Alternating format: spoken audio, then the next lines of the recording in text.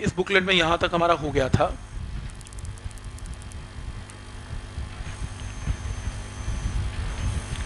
AC circuit containing resistance only देखो, हम क्या करेंगे? हम एक सर्किट के अंदर कैपिटल आर रेजिस्टेंस लगाएँगे। ठीक? हम एक सर्किट के अंदर कैपिटल आर रेजिस्टेंस लगाएँगे। कैपिटल आर की जो रेजिस्टेंस है, उसमें हम ईएमएफ अप्लाई करेंगे E is E not sine omega t यानी कि ऑल्टरनेटिंग तो कैपिटल आर रेजिस्टेंस में हम ऑल्टरनेटिंग ईएमएफ अप्लाई करेंगे E is E not sine omega t और हम ये देखेंगे कि इस ईएमएफ की वैल्यू को लगाने के बाद इस रजिस्टर में करंट कितना पास हो रहा है। मतलब अगर ईएमएफ इसमें अपनी वैल्यू को क्या कर रही है? चेंज तो हम ये देखेंगे कि करंट की वैल्यू इसमें कैसे पास होगी करंट की वैल्यू कैसे चेंज होगी, ये मेरा पहला पार्ट है। आज हम ये डिस्कस करेंगे। आपको कि उसमें क्या प्रॉब्लम है वो तो मैं आता है। मैं कैसे? बोले कि is E not sine omega t I I not sine omega t वो तो पता ही है करंट्स और वोल्टेज साइन फ़ंक्शन को फॉलो करते हुए is E not sine omega t और I I not sine omega t की वैल्यू फॉलो करेंगे। फिर मैंने क्या कहा कि आर को हटा दिया मैंने और थोड़ी देर के बाद हम डिस्कस करेंगे आज के लेक्चर में कि सिर्फ़ इंडक्टर लगा होगा। इंडक्टर के साथ मैंने अप्लाई किया E is E not sine omega t जब मैंने इंडक्टर के साथ E is E not sine omega t apply किया, अब मैं ये चेक करना चाहता हूँ कि इंडक्टर में कितना करंट जाएगा। आप कहोगे, उसमें क्या प्रॉब्लम है? I is I not sine omega t नहीं जाएगा। वो इसलिए नहीं ऐसा जाएगा क्योंकि इंडक्टर में जब चेंजिंग करंट ऑल्टरनेटिंग करंट जाएँगे, या ऑल्टरनेटिंग ईएमएफ आप अप्लाई करोगे, जो कि हर वक्त टाइम के साथ क्या करेगी अपनी वैल्यू को चेंज तो इंडक्टर क्या करेगा? आपकी जो ईएमएफ है चेंजिंग ईएमएफ है, उसको क्या करेगा? अपोज वो सेल्फ इंडक्शन शो करेगा और सेल्फ इंडक्शन से वो आपकी इंक्रीजिंग या डिक्रीजिंग ईएमएफ को अपोज करेगा। अब ऑपोजिशन के चक्कर में जो करंट आना चाहिए था, यानी कि आप, आपके, आपकी ईएमएफ को ऑपोजिशन का मतलब है रेजिस्टेंस ऑफ़र करेगा। तो जितना करंट आना चाहिए था इंडक्टर में, उतना आ नहीं पाएगा चेंज होके आएगा। मैं देखना चाहता हूँ कि अगर ईएमएफ का वेव फॉर्म यानी कि ईएमएफ ऐसे चेंज हो रही है टाइम के साथ जो मैं इसको दे रहा हूँ, मैं देखना चाहता हूँ कि करंट और टाइम का ग्राफ फिर क्या बनेगा जब मैं इस ईएमएफ को किसमें अप्लाई करूँगा? क्रॉस इंडक्टर अप्लाई करूँगा। ठीक? तो ये वैसा नहीं होगा जैसे स्टैंडर्ड होता है, कुछ चेंज होके आएगा। वो क्या होके आएगा? ये हमारा आज का काम है। और क्यों चेंज होके आएगा? बिकॉज़ इंडक्टर क्या करेगा? अपोज करेगा तो हमारा करंट कुछ ना कुछ फैक्टर से चेंज होगा ही होगा। फिर हम क्या करेंगे? फिर हम आज के लेक्चर में एक कैपेसिटर लगाएँगे। हीरा कैपेसिटर एसी सप्लाई के साथ कैपेसिटर लग गया। अब फिर से is E not sine omega t apply करेंगे और देखेंगे कि कैपेसिटर के अंदर कितना करंट पास कर गया। कोई बोला, सर कैपेसिटर में करंट कैसे पास कर सकता है? मैंने कहा, क्यों?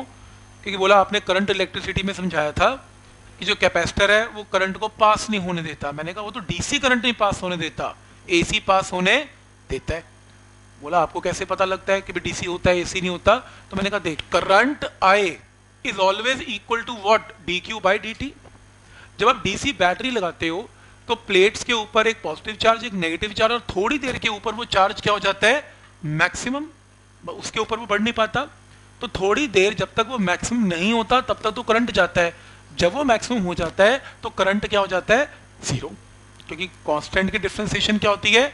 ज़ीरो अब जब चार्ज मैक्सिमम हो गया तो करंट भी ज़ीरो हो गया। तो डीसी करंट एक टाइम के बाद कैपेसिटर के अंदर मूव नहीं कर पाएगा। कोई डाउट इसमें? ठीक है? लेकिन एसी करंट एसी करंट जो है, आप चेक कर सकते हो। I is equal to d q by d t charge की वैल्यू एसी में क्या होगी? चेंज वो बोला कैसे? मैंने कहा देख कैपेसिटर की प्लेट्स हैं। जब ऑल्टरनेटिंग करंट आएगा, अपनी वैल्यू को चेंज कर रहा है तो मान लो ये प्लेट पॉजिटिव और ये प्लेट नेगेटिव है, और पॉजिटिव प्लेट का पॉजिटिव चार्ज बढ़ता जा रहा है, और नेगेटिव प्लेट का नेगेटिव चार्ज बढ़ता जा रहा है, क्योंकि करंट पीछे से बढ़ता जा रहा है, या ईएमएफ बढ़ती जा रही है। फिर मैक्सिमम हो गया, फिर करंट पीछे से कम हो रहा है तो ये चार्जेस कम होते जाएँगे और ज़ीरो हो जाएगा। फिर करंट अपनी डायरेक्शन चेंज करेगा, अब ये प्लेट पॉजिटिव थी, अब थोड़ी देर में ये प्लेट पॉजिटिव हो जाएगी और ये प्लेट नेगेटिव चार्ज रिवर्स हो जाएँगे। इलेक्ट्रिक फ़ील्ड रिवर्स हो जाएगा चार्ज हर वक्त प्लेट्स पे क्या होता जाएगा? चेंज। और जब चार्ज हर वक्त चेंज होगा तो करंट जो है वो कभी ज़ीरो इसमें नहीं होगा। कोई डाउट इसमें? पॉइंट समझ में आ रहा है यहाँ तक? तो एसी करंट कैपेसिटर की प्लेट्स में से पास होता है। फिर दूसरा क्वेश्चन एक स्टूडेंट ने पूछा कि कैपेसिटर की प्लेट्स के बीच में तो वैक्यूम है, हवा है। हवा में करंट कैसे चला गया? करंट को ट्रेवल करने के लिए तो तार चाहिए थी वायर चाहिए थी। वायर तो थी नहीं। बाय इंडक्शन अब चेक करो, जब एक कैपेसिटर होगा और एक एसी सप्लाई होगी तो ये पॉजिटिव या नेगेटिव होगा तो क्या होगा? यहाँ पे इलेक्ट्रिक फ़ील्ड होगा, क्योंकि पॉजिटिव और नेगेटिव चार्जेस चेंज हो रहे हैं तो यहाँ इलेक्ट्रिक फ़ील्ड भी क्या होता जाएगा? चेंज तो electric field is a form of energy तो वो जो इलेक्ट्रिकल एनर्जी है, वो इलेक्ट्रोस्टैटिक एनर्जी में कन्वर्ट होकर यहाँ पर ट्रांसफ़र होती रहती है. तो हम ये ये जो कॉन्सेप्ट है, अगले चैप्टर इलेक्ट्रोमैग्नेटिक वेव्स में ये स्टडी करते हैं, कि कैसे ऑल्टरनेटिंग करंट्स आगे चले जाते हैं, जबकि बीच में गैप है। गैप में कैसे ट्रेवल कर गया? In the form of electric field clear है यहाँ तक? खैर, अभी इसके ऊपर डिस्कशन नहीं है। तो मैं ये देखना चाहता हूँ कि करंट अगर मैं ईएमएफ e अप्लाई कर रहा हूँ अपने कैपेसिटर के अक्रॉस तो उसमें फिर करंट का वेव फॉर्म क्या बनेगा? करंट कैसे चेंज होगा? ये आज का लेक्चर है। तो आज का लेक्चर समझ में आ रहा है क्या होगा? और फिर एंड में at the end of the lecture आज हम क्या करेंगे? आर एल और सी तीनों को सीरीज़ में लगा देंगे। इसको बोलते हैं एलसीआर सर्किट और फिर हम देखेंगे कि अगर मैंने ईएमएफ e अप्लाई की E not sine omega t हम देखेंगे तीनों में से जब करंट जाएगा तो करंट की वेव फॉर्म कैसी होगी? उसकी क्वेश्चन कैसी होगी? तो आज का लेक्चर ये चार टॉपिक्स के ऊपर है। क्लियर है यहाँ तक? ठीक तो क्या करने वाले हैं, समझ में आ रहा है? तो सबसे पहले स्टार्ट करेंगे AC circuit containing only resistance AC circuit containing only resistance right AC circuit containing only resistance के अंदर लेट अस सपोज़ मैंने यहाँ पर ईएमएफ e अप्लाई की E not sine omega t तो मैंने E not sine omega t apply की। तो मैंने ये देखा कि करंट की वैल्यू क्या होगी? ईएमएफ बाय रेजिस्टेंस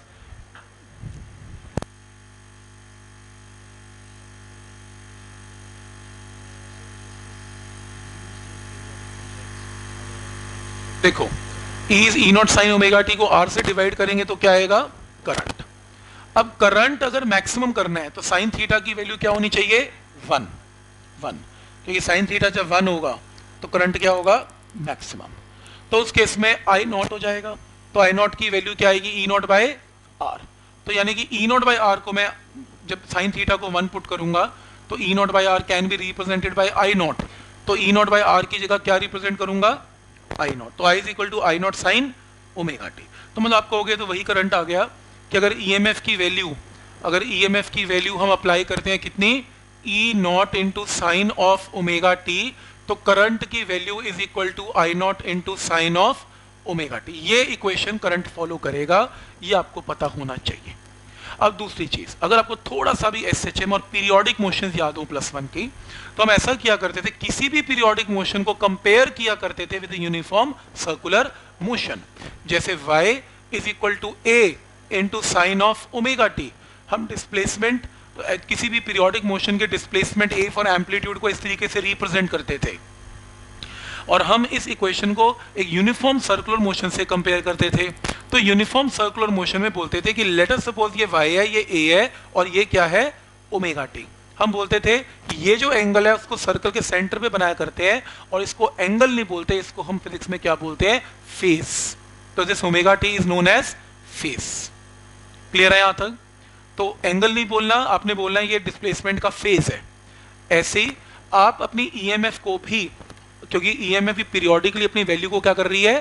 चेंज तो आप ऐसा कर सकते हो कि आप इस इक्वेशन को सर्कल से कंपेयर करते हुए ईएमएफ e को एक वेक्टर का फॉर्म दो। वैसे ईएमएफ वेक्टर होता नहीं, पर जब हम सर्कल्स में फेसेस ड्रॉ करते हैं तो हम मान लेते हैं कि ईएमएफ इज़ अ वेक्टर तो ईएमएफ ने किसी भी इंस्टेंट पर एंगल कितना बनाया हुआ है यहाँ पर? ओमेगा टी तो ईएमएफ का एंगल इज़ ओमेगा टी तो हम बोलते हैं ईएमएफ का फ़ेज़ कितना है? तो आप क्या बोलेंगे? Omega t. तो ईएमएफ का फ़ेज़ इज़ ओमेगा टी। उसी तरीके से अगर करंट को रिप्रेजेंट करना हो करंट को तो सर्कुलर मोशन में अगर करंट का एक वेक्टर ड्रॉ किया जाए दिस इज़ करंट वेक्टर जबकि करंट वेक्टर नहीं, पर हम इलेक्ट्रिकल इंजीनियरिंग में जब आप जाओगे कि कोई अगर स्टूडेंट ब्रांच लेता है, उसमें आप ये देखोगे कि बहुत कॉम्प्लेक्स सर्किट्स को जो इलेक्ट्रिकल बहुत कॉम्प्लेक्स सर्किट्स हैं, उन कॉम्प्लेक्स सर्किट्स को ईएमएफ और करंट को वेक्टर मानते हुए फेजर इस डायग्राम को फेजिस के डायग्राम या फिर फेजर डायग्राम बोलते हैं। तो फेजर डायग्राम से बहुत इजीली सॉल्व किया जा सकता है। आज मैं करके भी दिखाऊँगा इसे। तो नॉर्मली कई लोग पूछते हैं, सर करंट कब से वेक्टर हो गया? ईएमएफ कब से वेक्टर हो गया? बट फॉर कन्वीनियंस हम जब सर्कल के साथ कंपेयर करते हैं, उसको वेक्टर मान लेते हैं। और फिर करंट का फ़ेज़ भी यहाँ पर क्या ड्रॉ किया मैंने? ओमेगा टी क्या ये पॉइंट क्लियर है यहाँ तक? तो ईएमएफ का एंगल भी ओमेगा टी किसी भी इंस्टेंट पे और करंट का एंगल भी ओमेगा टी किसी भी इंस्टेंट पे ठीक है यहाँ तक? तो हम बोलेंगे कि ईएमएफ का फ़ेज़ कितना है? ओमेगा टी करंट का फ़ेज़ कितना है? ओमेगा टी ठीक? तो अब ये बताओ कि अगर सपोज़ करो रेजिस्टेंस के अंदर, किसी भी रेजिस्टेंस के अंदर अगर ईएमएफ इसके इक्वल है करंट इसके इक्वल है, दोनों का फ़ेज़ एग्जैक्टली सेम है। दोनों का फ़ेज़ सेम है। फ़ेज़ सेम का मतलब कि अगर मैं एक ही सर्कल के अंदर इनको रिप्रेजेंट करूँ, और ये कहूँ कि ये मेरा ईएमएफ वेक्टर है, किसी भी इंस्टेंट पर इसका एंगल ओमेगा टी है तो ये मेरा करंट का वेक्टर है, क्योंकि ये ईएमएफ है, यही करंट है, एक ही डायग्राम के अंदर दोनों चीज़ें हैं तो करंट का एंगल भी उस टाइम पे क्या होगा? ओमेगा टी तो एक ही सर्कल में ड्रॉ कर देते हैं ईएमएफ भी और करंट भी. तो इसको बोलते हैं ड्रॉइंग दी फेजर डायग्राम तो मैं फेजर ड्रॉ कर रहा हूँ.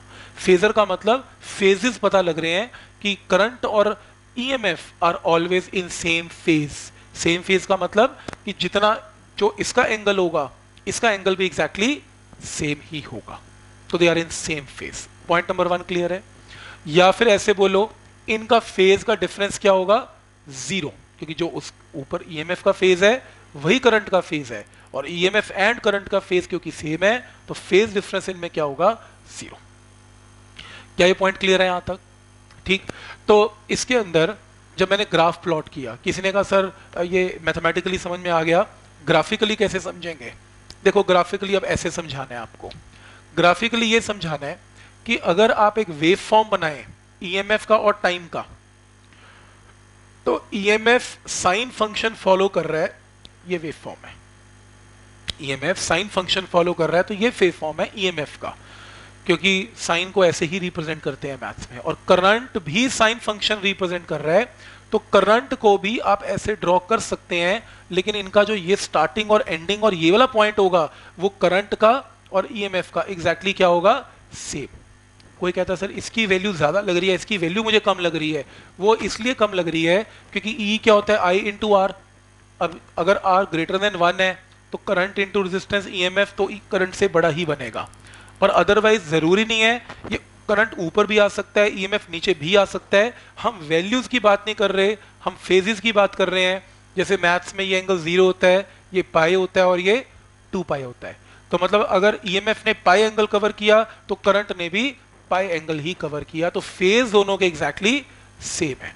तो ये पॉइंट समझ में आ रहा है डायग्राम समझ में आ रहा है। ये ईएमएफ का ग्राफ है और ये करंट का ग्राफ है। पहला पॉइंट दूसरा पॉइंट अब फेजर अगर हम इसका ड्रॉ करते हैं, देखो तो फेजर के अंदर क्या ड्रॉ करना है? फेजर के अंदर आप ये ड्रॉ कर सकते हो। इसको इसको देखो सिर्फ़। सर्कल ड्रॉ करने की ज़रूरत नहीं है, सिर्फ़ एरो एरो ड्रॉ कर दो। तो अगर ये ईएमएफ e का वेक्टर है, जिसने एंगल किसी भी इंस्टेंट पर क्या बनाया? ओमेगा टी तो ये करंट का वेक्टर है, जिसने एंगल कितना बनाया? ओमेगा टी तो ईएमएफ e और करंट का एंगल हमेशा क्या रहेगा?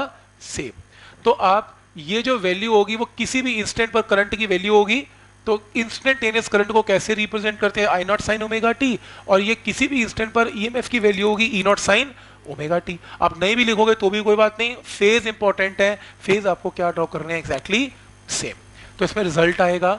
EMF and current are in same phase पहला रिज़ल्ट क्लियर है। दूसरा result AC circuit containing inductance only देखो, ये इंपॉर्टेंट है। इंडक्टेंस ये तीनों एक्सप्रेशन जो अगले करने जा रहे हैं, वो बहुत ज़्यादा इंपॉर्टेंट है। क्योंकि एसी का बेस यहीं से बनेगा सारा।